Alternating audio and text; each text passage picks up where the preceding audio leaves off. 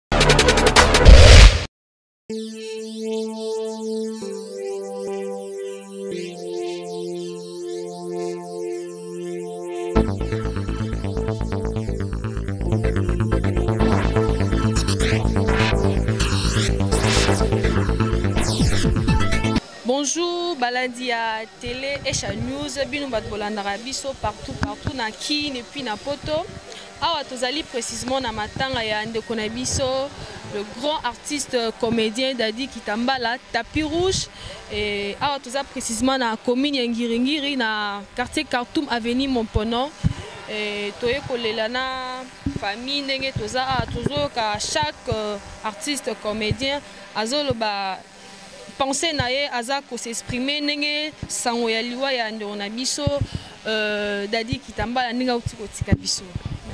bonjour monsieur micho mbita bonjour euh, na ndenge likambo ekomeli biso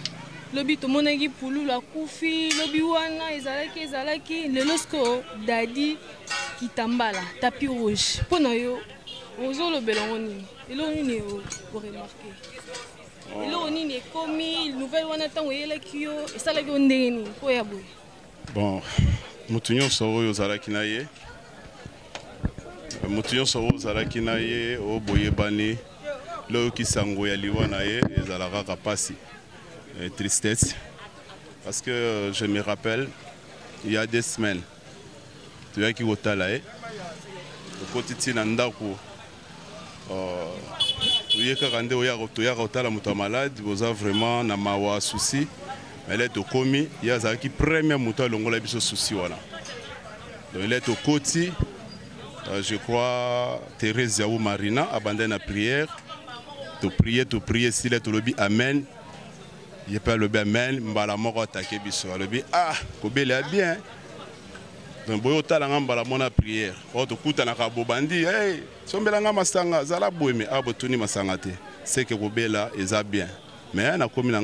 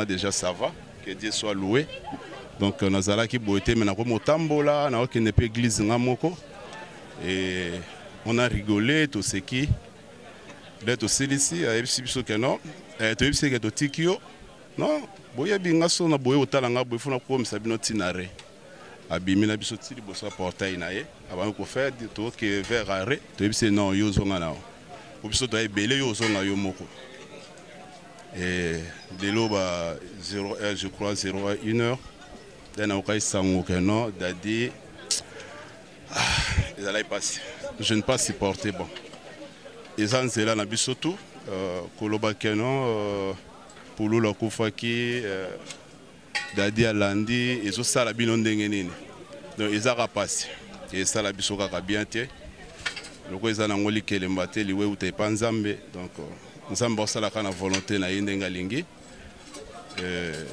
voilà voilà lelo mpena peuple congolais eza na mawa makasi koyoka mpena dadi kitambala donc nga mpena azalaki mpena motu na bakolinga makasi na théâtre na biso congolaise eh, tokomi koyoka mwa basoupçon mwa bomaa mo beke non ekomi baartiste comédien bakomi okekinga kati ya mpo bakomi olandalandala eloko mwa kinga kati eza nini yo mpena oyokelo ndenge Oh, Kingakati, Kingakati eza adresse moko eza na Kinshasa. Oyo biso tout toyebi. Eh, je crois que Kingakati a poison te parce que bato bavivaka na Kingakati. Ah, elobi te so koti Kingakati nde ozwi liwa. Kingakati eza epa mama na biso mama ni mama eza mama oyo azalaka na ba ong na ye e, asepela na biso baartiste trop c'est ça soki tolobi ke no liwa na biso ezowuta kenga kati seke biso tu toseli déjà nde toseli biso tu et je crois que ya dadi ye akendaki mpe kingakati te maladi na ebandi na kingakati te donc euh, tout le monde meurt tout le monde peut tomber malade yo ndenge oza wana obelaka ngai nde naza boye nabelaka eh, liwa mpe ekokomela biso donc gloire eutaka epai na ye ezongaka epai na ye en tout cas tobeta na mabaku te tobeta na mabaku te c'est dieu qui donne nzambe nde apesaka e nzambe nde mpe azwaka mpo na yo mo clé mpo na liwa oyo ya dadi yo mpo na yo eloko nini okopesa oyo oh, peuple congolais bafane na yo baolanda yo baotala yo eloko nini okoyebisa bango mpo na liwa dadi ah, mpo na liwa ya dadi eloko nakoloba na bafane na biso na peuple congolais tozalaka expose trop biso batiste bapriaka mingi mpo na biso oyo ezokomela biso ekokomela mpe bango eh, eza mosala moko eza noble on gagne rien mais tosepelisaka bato eh, je crois outi koloba yango ke non obanda kosepelani mingi talaka moto yo kotala ye alobi bobenga ngai su tapi rouge te bobenga ngai nouveau né naa na biloko ya sika nouveau né mais otali ke non Euh, Daddy Kitambala akomaki un peu pâle, mais alors bobota loposo na nga na nouveau né. Tala degré. Donc tosekaki na ye. Voilà, en tout cas bo priaka pona biso trop. Bo edaka biso euh, soki oyoki artiste ya malade kobeta lisolo na ndenge mosusu te luka okoma soza na mwa eloko ya oede ye eza oko ede ye olie de parler de n'importe quoi gens bazobenga ngai mais dadi akufi na nini toyebi ekaka bandaki kobela baserie videola bandaki kobela ye sikoyo tongi toyeba akufi na nini kaka boye mama inere akufi akufi na nini bon. azwaki temps abeli euh, je crois ebandaki lokola mibi oyebi amebi nde derangeaka nayeba na tournage moko tokutani na ye alobi non leki naomona mibi oyo yango ondire eboti ba eboti ba je crois nayebi te babenga yango nini bandako nango kua eboti na libumu na nga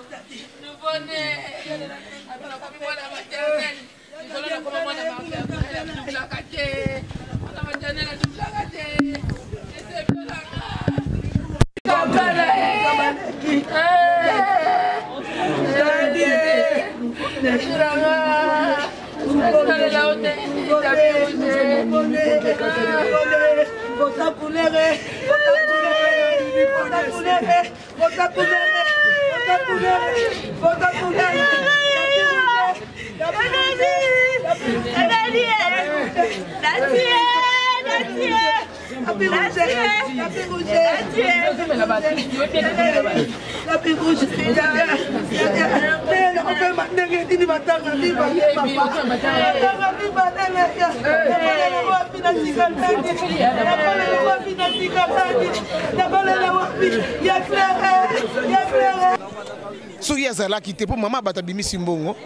azwa soin ozomona soki azalaki te melo nini okosenga na ba confrère na ba concert na ba comédien na ba comédienne ou peut-être il faut bosala il faut bosala effort po to bomona on dirait kango ya baliwa ezotoke kaka trop na famille théâtrale bon euh, eloko na kosenga na bandeko na ngai nyonso tout merci na nanu na afar na biso euh, ba association ya baartiste comédienne toza déjà soudé unis eh, tosalaki association moko ya basi ya théâtre eh, vraiment lokola likanisi wana eseyaki déjà toza soude eh, tosali bongo mpona kose soutenir biso na biso basi ya théâtre mpo tozalaka faible te na makambo mosusu donc eloko na kosenga kaka keno tozalaka bomoko tolela ya dadi donc eh, tozala elongo kua donc tomisimbana toyeba eloko nini ezoya soki tomoni keno ya mabe moko ezoya avant To ba ata ko cotiser pona mabe yaka pena te voilà. Voilà mais dernière question na ngai te oui. muso akufi ezalaka kaka ki bolamu na ye bolamu na ye quels sont les défauts peut-être ya Daddy Kikambala oyo oh, te aza na ba défauts na ye neti nga défaut na ye pa na nga na monaki mabe mona mona pa na ye ntango na postilaka mpo na postilaka na députation nabengi nga bia dadi ah nga na postile na funa euh, soko vote nga bi ah nalia ya yo akombe mpo nga na vote yo ozomonaka mpasi apesanga te ifo kolobaka eh, nalie ya yo ya combien yo ngai nalie mpo ngai akeno vote yo nakovote motu oyo ngai nalie mbongo na ye ngai biadadi ngai nalobi bongo ti nalobi na tanke ndeko no artiste donc soki ovote ngai ekozala bien soki ngai naleki ekozala fier ekozala bien mpo na bino toblage na ye toseki bamabina aza kutu na christian awa lobi lokola vote abina aza na christian awa christian alobi ye akozoloka image atindi mpo monaka votaki yo effectivement ya christian mpe ti ntango akenda kovote mpe azwi mpe image atindeli ngai na whatsapp abi omoni ngai na vote yo toseki toblagaki donc voilà mabe ya moto ezali malamu mpe ya moto ezali vraiment merci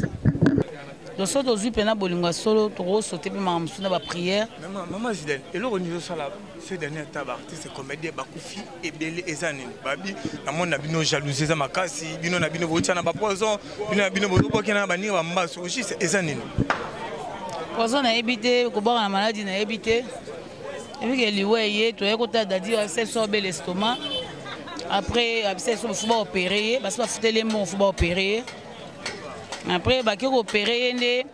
a survivre te na opération wana kotali na salle do basali opération epuis abimi te na opération toyebi te mpo jour natunaki ye su teke soki opération bakosala ye ozala ya nini mpo azalaki malade toboyaki koambete na bakestion ebele sauf ke nasalaki interview mwa une minute asengaki ka merci abaki merci tocomprenaki sens ya merci wana te todiscernaki te merci wana ezali merci ani mama zidane ozomona te ezopesa impression moko ya mabe kaka bino bato yateka mingi te touta kunda vie mundori tokundi mama na biso auta kufa pululu kaka bino kaka bino moi teke ezopesa fo yango bazoloba ke na moi na bino bandoki baza trop bato ya mitema mabe jalousie eza trop parce que vie na biso abeli kaka opération bakosala opération kaka ba adaye nzambe akitisa mawa na ye nzambe vraiment akitisa mawa na ye parce que pasteur de la foi alobaki yango amonaki yango aprofetizaki yango ke esprit de mort eza na bacomédien soki peut-être otiraki attention bien bien peut-être bato mosusu bazwaki yango ya la légère tozwaki yango ya la légère mais tokomomona yango ya mosali na nzambe amonaki yango asali campagne d'évangélisation alobaki yango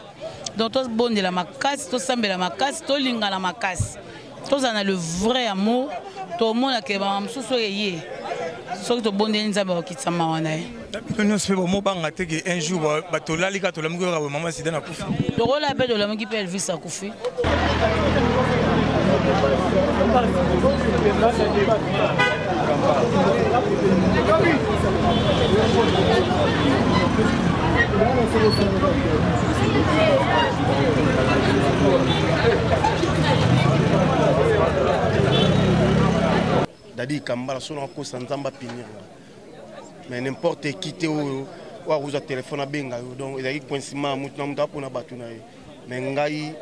aye kotala par rapport ya politesse nde tozalaka na ye ndenge na respectaki napesaki bavaleur nde abengaka nga mais na moto nyonso akobenga yo te ya mibale eza baconseil donc ezali so tokutani boye fapesa conseil tala biso nde to évolue atala boye bino mpe boye ezala boye ezala boye yango omoni ngai na gardaka toujours basouvenir eza dadi ekambala eza pululu parce qu'il il arrivé de fois peu que uh, malgré otourne na ye te mabengi yo toziki moko ezali mpe ke abengi yo mpe bayo okelaki te te na abenganga te eh, wana kosi te nano natikala babenganga te na nzonzingi donc euh, soki ezalaki na moment oyo ezalaki ke ba cd ezo renie eh, peut-être nanga azwa coup de fil na ye mais ya internet eza nango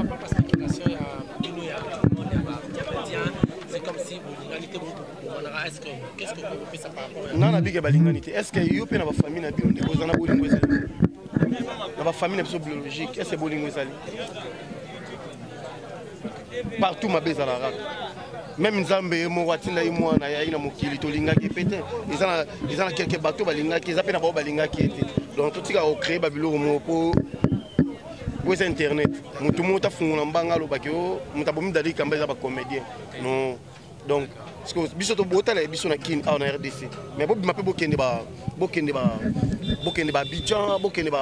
baburundi bokende bamboka mosusu bomonake baartiste mpe basani bakufa siko baartiste wana kaka bafamille moto ebomaka bango donc liwa ezodépendre na nzambe donc toza na nzambe donc toza na droit boma biso comprendre alors pour ba message particulier okoki koloba na bayi diaspora na bafamille biologique na famille artistique euh, message de paix bon moto apesaka eza nzambe moto mpe azwaka eza nzambe donc tokangamaka na nzambe ngai namoni bamessage wana na na uganda namoni message ya ya yeke abela bapibi yango namoni ya mamepela mais lokola perdaki numero na ye mamepela nde nanda kobenga ye to ande kosola tout le temps na osepela bapriere wana message ya mama epela namonaki yango na uganda ya dadi mpe namoni na uganda ata mpe na kiti na yibo nasala effort ya komona ye nde bamessage ekomi kocircule ke so oyeba obenga ya baboya baboya bato bamona ye kua donc siko message nini ozali na yango mpo na bandeko na bino mosusu etanke baartiste baza na badifférent pays baza na bamboka mosusu message nini oza na yango message oyo naza na yango eza kaka ke baprie mpe kaka Eh, bapriye bazalaka na nzambe moto aleki nzambe donc euh, sikoyo nayebi te euh, par rapport nde babi ke tosunga baartiste tosunga boye baninga baobela tooneglige sikoyo neti moto asali makambo na ye akangisi bambongo na ye peut-être ake abidjan mais kuna mpe abeti 10 ans 15 ans aza na bafere asalaka mais sikoyo akoki kozwa mpe maladi apartir kuna kufi ezalaka baartiste mbala ndeti kuna babomi tocontrôlaka mwa batitre oyo tokotyaka na bainternet tocontrôlaka peut-être message oyo totransfere na bafanatique mpe na badiaspora mpe na population nyonso yango moni ezobetaka biso toujours mabaku ba baartiste ba mabe c'est ça Pasteur de la foi a béni sa qui par la Sainte-Père. Amonaki esprit de mon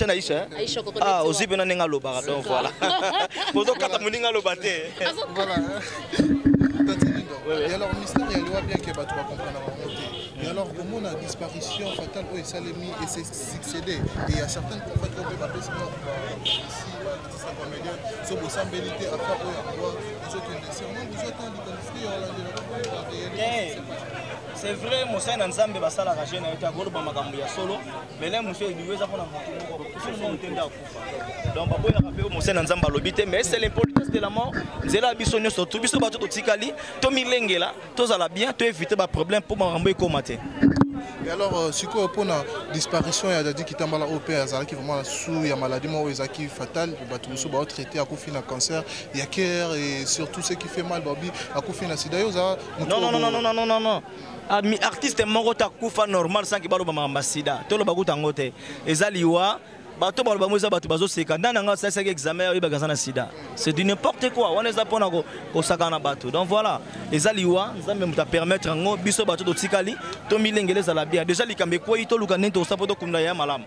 merci beaucoup d'accord merci, merci. merci.